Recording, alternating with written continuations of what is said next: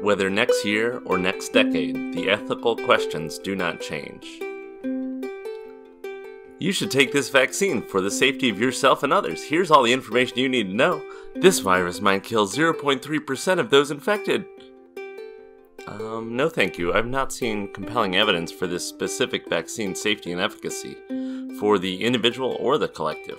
When I searched for it, such proof did not appear to exist.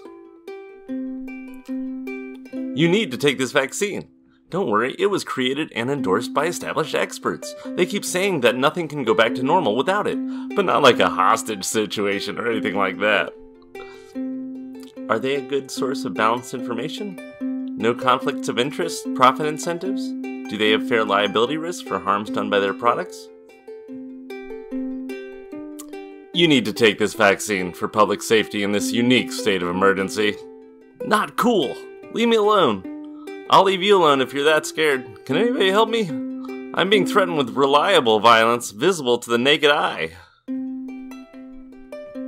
Listen, over two thirds of the community agreed that we need to put this in your body for everybody's safety. Are there no alternatives? I will miss you if we cannot hang out, but can we leave most public spaces open to everyone? Nope, we wrote down in the law. Not cool. I still do not consent to put that cocktail in my body. Not all laws are just, but most threaten violence.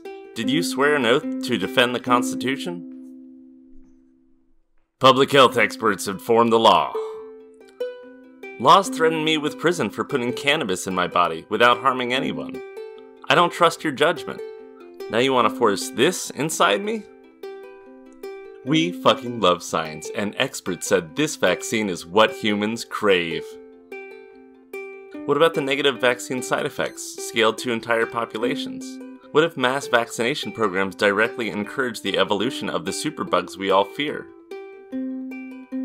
Better to attempt protecting certain groups of people now at the direct expense of others.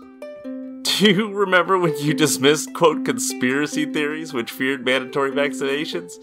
You are literally witting or unwitting accomplices in one of those conspiracies. No credible experts made different calculations for hashtag the greater good. Please finally grant me threat free sovereignty over my own body. No government in the bedroom, but allowed in my body? Can you at least stop pretending like you are the good guys? Cognitive dissonance sucks hard, and confirmation bias is fun. We're helping! Please speak up and act out without violence to ensure this remains a fearful fiction about the future.